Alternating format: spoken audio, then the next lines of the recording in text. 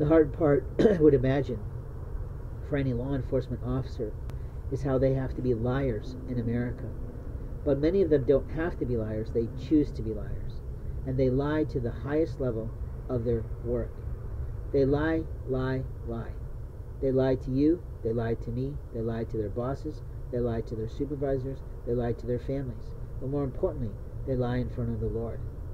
So they'll be standing in front of God. They'll be put in front of Jesus. They'll be put at the gates in front of Gabriel in heaven.